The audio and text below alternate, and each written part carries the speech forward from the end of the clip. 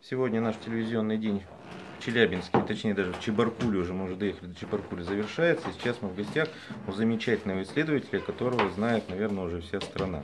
Я говорю о Алексее Кунгуреве. Алексей. Добрый вечер. Так вот скажи, пожалуйста, была все-таки война 200 лет назад или не была? Не, война не 200 лет, а 170 лет назад. Конкретно период с 1841 по 1843 год. Дата эта датируется внешними источниками и по артефактам, которые находятся в земле. То есть это можно обосновать, посчитать, достать и то есть э, материальные доказательства найти. А вот тогда такой вопрос. А могут подобные же события, насколько понимаю, война, естественно, любые войны, они, естественно, создаются искусственно. Причем, да. с, как правило, как ты говоришь, с применением третьей силы. Может что-то подобное в ближайшее время произойти? Потому что сейчас, честно говоря, напряженность очень большая в мире. На данный момент есть информация о том, что, что ну, скажем так, на Земле работает в том числе третья, ну, наша сила. В том числе есть информация о том, что уничтожено большое количество подземных городов, ну, скажем, назовем их паразитов, в том числе в Америке, в Латинской Америке и так далее. То есть паразитам, которые готовы были здесь развязать Третью мировую войну, было показано, что спрятаться им нигде невозможно. То есть не получится.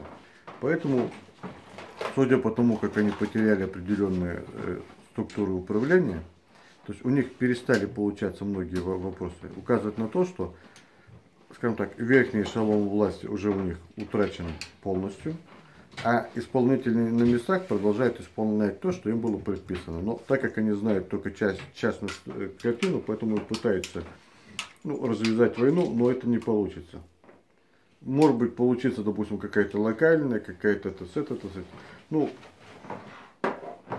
ну, то есть, получается, опасаться в ближайшее время особо нечего. Э, ядерный, ядерный, скорее всего, нет. Это однозначно. Почему? Потому что, ну, насчет того, что мы ее не переживем, и не переживем по какой причине. Если изменить процентное содержание кислорода всего на 2% в воздухе, мы перестанем быть как разумные существа. Достаточно. А в ходе ядерной войны происходит такой момент, как соединение азота и кислорода.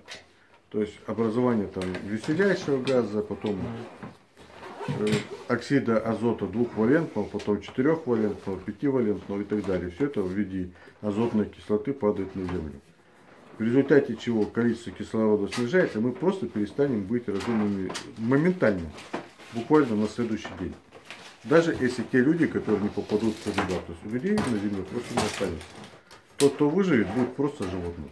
И последний вопрос, а, тоже да. очень важный. А, последние вот 10 лет а, раскрывается очень много таких исторических тайн, просто возникают исторические сенсы. Как ты думаешь, с чем это связано? С тем, что у нас сейчас активно развиваются средства коммуникации, социальные сети, и просто действительно много информации попадают к людям, они начинают анализировать. Или это какая-то целенаправленная программа, чтобы, знаешь, как говорят, пробудить сознание людей? Нет, первый момент, есть определенные вбросы, и, к сожалению, негативные, да? Но главная причина это действительно наличие интернета, наличие новых коммуникаций и возникает такое явление, как коллективный разум, когда огромное количество людей начинает отдельные факты искать, потом в кучу собирается, происходит определенное состояние. Так мы работаем. Коллективный разум, в общем, создается да. такой. Реально разум. коллективный разум, по-другому никак. Как раньше называли, мозговой штурм возникает. Да. Yes. да. Ну что, нашим тогда уважаемым зрителям новых встреч с интересными исследованиями Алексея Кунгурова. Оставайтесь с нами, как говорят, знаете, ставьте лайки, как давай вот так вот. Ставьте лайки, смотрите видео. Всего вам доброго. Да.